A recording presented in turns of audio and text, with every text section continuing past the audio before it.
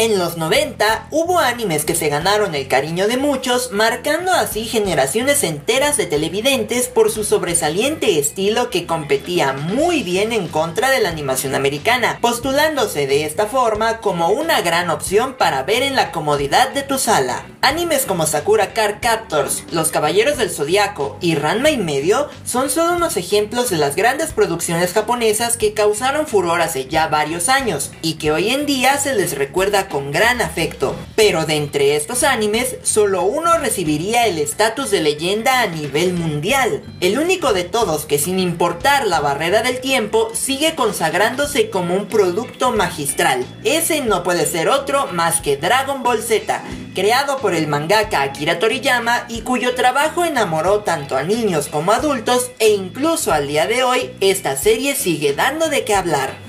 Hablar de la franquicia Dragon Ball es meternos en un terreno amplio, pues esta posee mercancía y legado que le ha valido una fama impresionante, desde el anime hasta los videojuegos y algunas películas tanto exitosas como rotundos fracasos. Nos atreveríamos a afirmar que esta franquicia no tiene competidores, por todo el mundo se le conoce y atrae la nostalgia de una época maravillosa en donde disfrutábamos sin fin de aventuras, pero de entre las cuales las vividas en Dragon Ball fueron las mejores. Honestamente no somos afectos a la etapa de Goku cuando era niño, preferimos la versión Z que consideramos en compañía de muchos fans del Saiyajin que este fue el producto definitivo, puesto que aquí fue donde se atrevieron a experimentar osadamente con un nivel de madurez que pocos animes de su tiempo ofrecían, dándonos combates emocionantes, momentos sumamente tensos y otros aterradores, dramas que lograban enganchar al público al instante y personajes que se quedaron en nuestras mentes para toda la vida. Es por esta razón que cuando se anunció que en 2015 la aclamada serie volvería a la pantalla chica, muchos se emocionaron por volver a ver a Goku, Vegeta y compañía combatiendo contra diferentes enemigos, reviviendo de esta forma la gran esencia que alguna vez vivimos cuando niños. Pero desafortunadamente las cosas no han salido bien en este aspecto, pues si bien es cierto que Dragon Ball Super ha tenido sus puntos a favor, creemos que realmente ha sido una producción pobre y que no puede compararse a sus días de gloria, pues se siente como un producto sobradamente inferior. Hemos de especificar, antes de comenzar con la crítica, que estas observaciones se dirigen hacia el anime de Dragon Ball Super, pues este es el que se está emitiendo por cadena televisiva y del cual obtenemos información adelantada. Sin embargo, el manga de la serie será referenciado para tratar algunos puntos de vista que también le competen. Dragon Ball no tuvo un buen retorno a los tiempos modernos con el inicio de la película sobre la batalla de los dioses, fin que fue destrozado por la crítica que se enfocaba más en aspectos de comedia que enfocado a lo que el tráiler dejaba ver y cuyo error le dejó marca de un producto engañoso, Posteriormente en la resurrección de Freezer, donde ya se enfocarían más a las batallas que nos tenían acostumbrados tanto Toei como Toriyama, pero a pesar de haber sido mejor recibida, aún se sentía flaqueza y timidez por parte de los creadores para tratar de traer de vuelta a tan amada franquicia. Finalmente, pese a sus errores, la cadena anunciaría el retorno de Dragon Ball a la televisión con una nueva serie que se especula llegue a durar más de 200 episodios y que contaría con una trama ubicada posterior a derrotar a Majin Buu, pero anterior al combate de Goku vs. Up. Sin embargo, las fallas que se cometieron con las producciones anteriores dejaron muchas dudas al respecto sobre si el retorno del anime iba a ser igual de emocionante que su antecesor, Dragon Ball Z, pues se introdujeron elementos en ambas películas que se recibieron como preludios que no a todos los fans de la franquicia les resultó del todo agradable. Dragon Ball Super, en nuestra opinión, se ha dejado ver como un anime tímido, carente de personalidad, con una visión no muy clara de lo que pretende ser y que busca ser lo más simpático que pueda ante un público juvenil, sin importar lo mal estructurado que esto vaya a quedar ni las reacciones que provoquen en la audiencia debido a situaciones forzadas que ha mostrado desde que Super salió al aire. Empecemos con algo realmente básico. Es cierto que la franquicia estelar de Toriyama nunca ha tenido buenas bases para darle inicio a sus historias, ya que la mayoría de las veces arroja los eventos de forma intempestiva. Por ejemplo, la introducción de Raditz y la raza Saiyajin es un ejemplo de esto, y de igual modo, la presentación de Majin Buu surgió de manera intempestiva. Aunque los inicios de cada historia, con excepción de la de Freezer, fueron sorpresivos, realmente Toriyama jamás ha tenido problemas en explicar las cosas conforme la trama evoluciona, así como dar giros argumentales inesperados y cautivadores que enganchan a los seguidores dejándoles ansiosos de ver qué ocurrirá más adelante. A nuestro juicio, esto pasa porque las historias en Dragon Ball son creativas y no tienes conocimiento de qué va a pasar en el futuro, por lo que si la trama avanza como es debido y presentan a un villano que represente una gran amenaza para los guerreros Z, entonces estamos ante un producto de calidad, prometedor e intrigante que te mantendrá entretenido durante su progreso. La historia no vería bien en este sentido a Super, principalmente por la ubicación temporal en la cual se encuentra. Ya en un principio mencionamos que esta serie se ubica posterior a derrotar a Majin Buu, pero es precuela del episodio donde Goku pelea en contra de Up en el torneo de las artes marciales, situación que a grandes rasgos resulta perjudicial en la evolución de las tramas, pues a pesar de que mencionen castigos o eventos que pondrían en riesgo la vida del universo 7, tristemente ya no podemos tomar las tramas con la misma seriedad en cuanto al futuro, pues sabemos que terminarán sanos y salvos, ya que no solamente Toriyama lo ha mencionado, sino que además el propio Toyotaro, actual dibujante del manga de Dragon Ball Super, ha mencionado en más de una ocasión que el final de esta serie será el dichoso combate, evento al cual deben llegar de una forma u otra sin importar lo que suceda. Por este motivo, tramas como la del torneo universal se ven mermadas desde el inicio, así como cualquier otro arco argumental que se deje ver en las temporadas venideras de esta serie. Ya no podemos ver con incertidumbre lo que pasará después, y ese apetito de ver más salió afectado en cierta forma. Pero por otro lado, aún nos queda ver el presente de este anime, ya que aún puede desarrollar sus tramas con el mismo carisma que poseía su antecesor, metiendo algunos episodios que sirvan como enlaces para las próximas sagas, ¿verdad? no. Otra gran decepción de Dragon Ball Super es que no se sabe realmente a qué dirección tiene que apuntar en su desarrollo ni cómo lo piensa hacer. Esta carencia le da una falta de personalidad al anime que no sucedía anteriormente.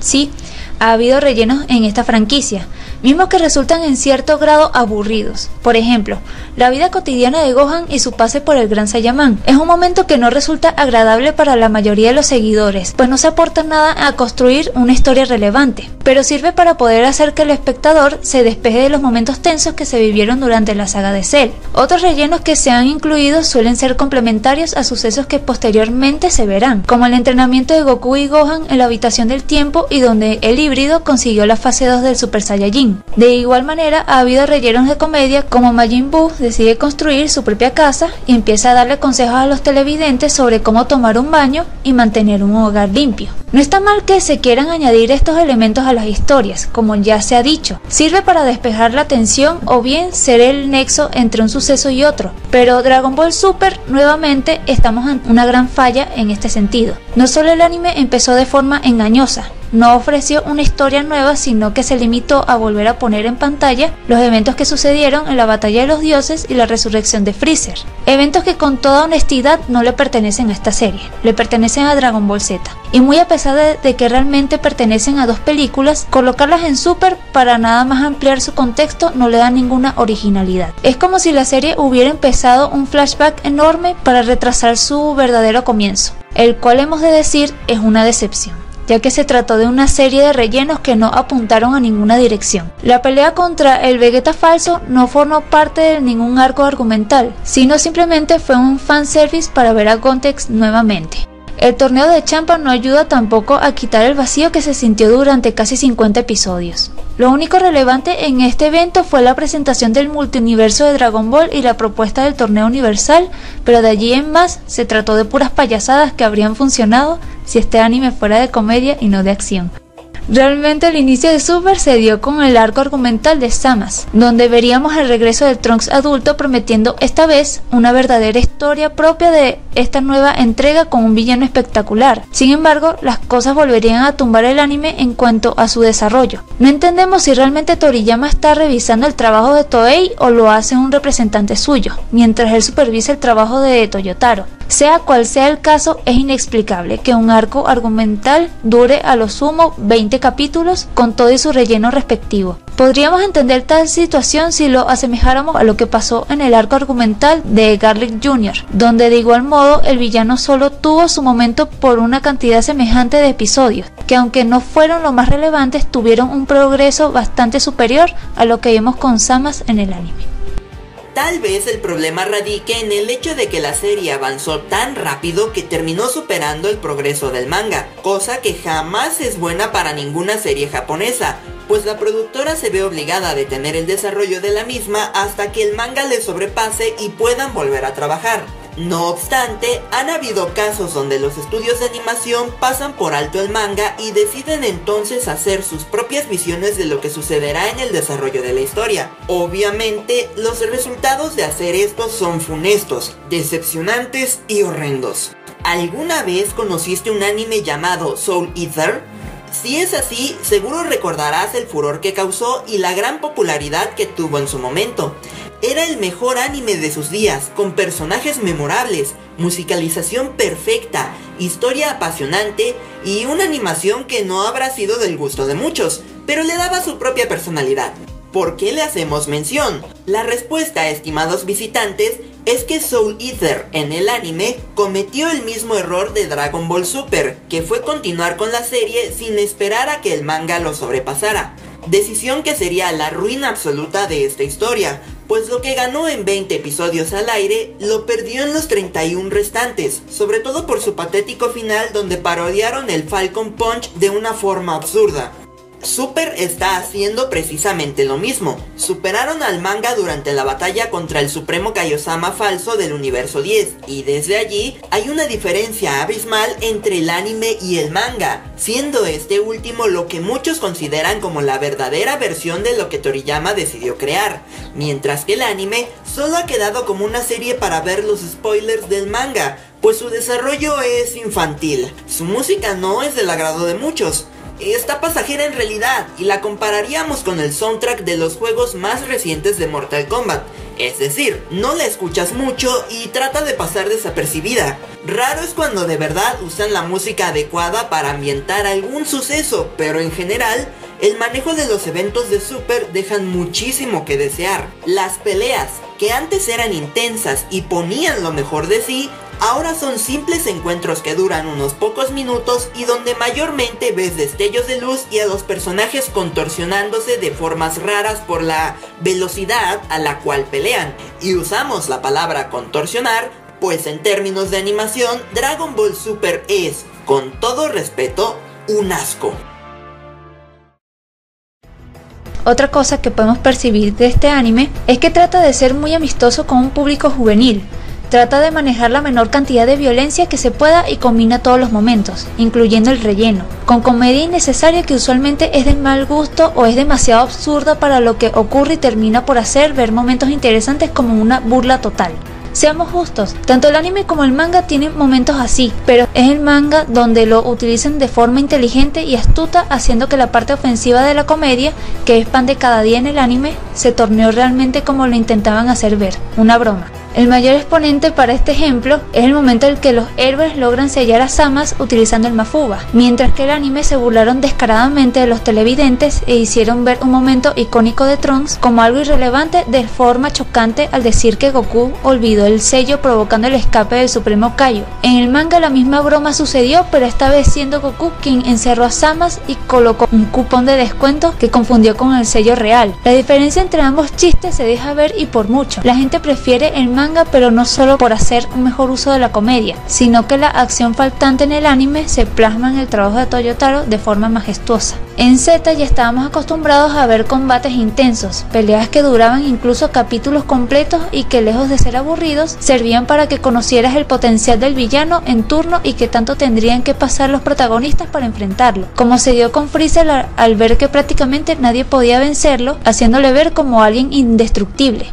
También Algo de violencia no podía faltar en estos enfrentamientos, cosa que resultaba necesaria para no hacerle creer al espectador que está observando un combate de práctica o entrenamiento, sino que se trata de un combate serio contra un ser amenazador con capacidades atemorizantes para el nivel de pelea actual de los héroes. Esto lo dejaremos a juicio suyo, pero realmente los enfrentamientos de Super parecen tener miedo de ser violentos y se conforman con lo políticamente correcto. Incluso cuando Samas estuvo en la pantalla sus peleas fueron tranquilas para los estándares de Dragon Ball. No pedimos que muestren un nivel de violencia elevado, tampoco se trata de ver gore, pero sí sentimos que la ausencia de que los personajes como mínimo sangren o se den un golpe que los haga detener un momento hace que las peleas se sientan aburridas y sin ganas de presentar más. De nuevo es el manga que compensa esto. Allí sí han pasado algunos combates interesantes con el nivel de violencia que hace falta. Aunque eso sí, aún se siente mermado, pero al menos el manga tuvo los pantalones bien agarrados para mostrar a Samas asfixiando a Goku y Vegeta. Tuvo la valía de hacer que Vegeta le cortara los brazos y el suficiente orgullo para darle una paliza de muerte al propio Trunks,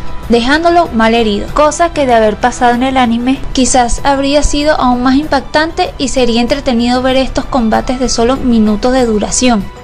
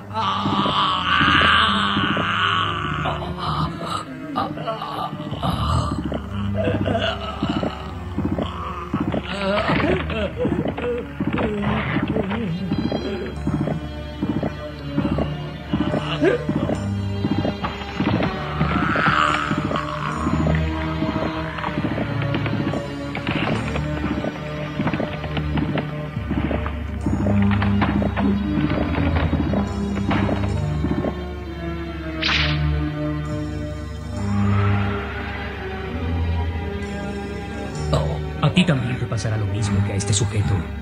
Picoro Daimaku. Ya aprendí muchas cosas de ti.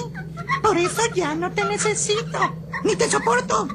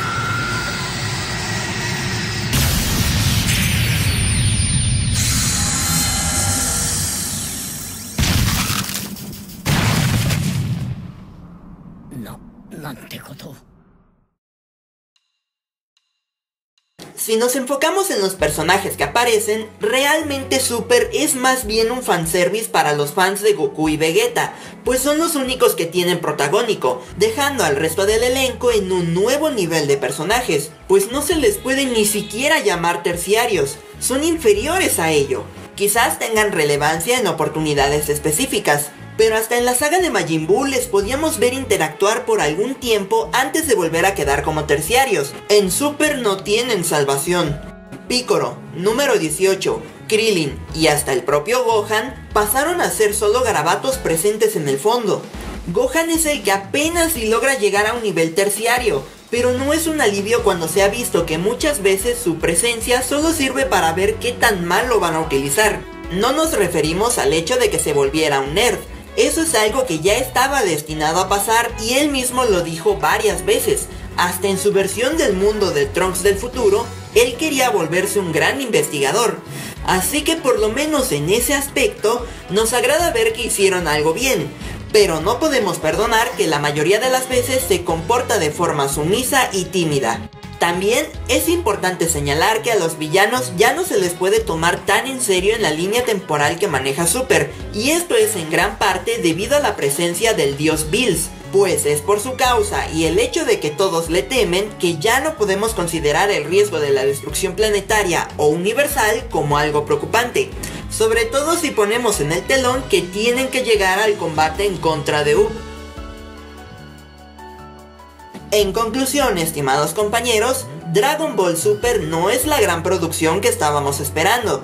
Es simplemente un anime más del montón que introdujo elementos con los cuales pretendía innovar, pero que terminó fracasando horriblemente en su cometido, pues si ya la lógica de la franquicia era cuestionable, con Super este apartado se va al carajo, porque en un momento ves a Goku padeciendo por alcanzar el nivel de los dioses y obtener la transformación de Super Saiyajin azul y al siguiente, el androide 17 resulta ser tan poderoso como él, nada más a base de defender una isla de los cazadores furtivos.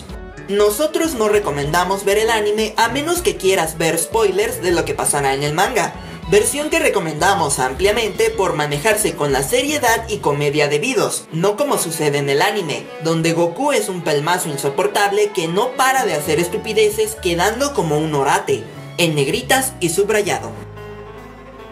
Cierto es que el manga también tiene sus fallos y enfrenta el mismo problema del final que debe conseguir, pero su desarrollo en las manos de Toyotaro logran capturar parte de la magia original que se vivió en los gloriosos de Dragon Ball Z, cosa que no da gusto y nos mantiene a la espera de ver cómo culminará la actual saga de Sama, que rivaliza mucho contra la de Freezer, pues de igual modo el villano se presenta como alguien invencible. Esperamos que su final sea digno del recuerdo y ojalá Toyotaro siga con el gran trabajo que está haciendo. Por el anime no tenemos más que decir, sus fallas constantes, animación penosa, falta de objetividad y el protagonista tan odioso simplemente hacen que su versión para la televisión sea una apuesta de calidad inferior a la del odiado Dragon Ball GT, que habrá cometido sus grandes errores, pero por lo menos comparado con Super, mínimo sabía qué hacer con su argumento y cómo desenvolverlo ofreciendo momentos que fueron dignos de la obra canónica. ¿Tú qué opinas sobre Dragon Ball Super? ¿Te parece que el anime va por un buen camino o crees que el manga sea superior? Comparte tus opiniones en la caja de comentarios. Si el video fue de tu agrado, nos gustaría invitarte a compartirlo en redes sociales con tus amigos para darlo a conocer. No olvides darle pulgar arriba, pues nos ayudaría mucho para seguir subiendo más videos interesantes. Te invitamos a suscribirte a nuestro canal y darle clic a la campanita para que no te pierdas de ningún video nuevo informativo. Hasta la próxima.